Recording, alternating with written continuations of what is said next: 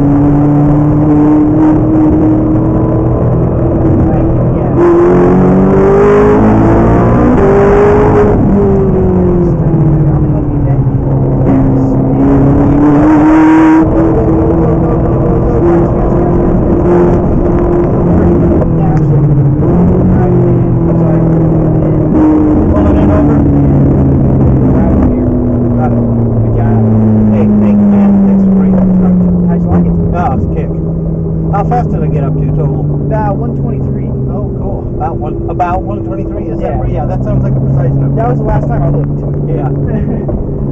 I like to look at the road a little more. Yeah, yeah.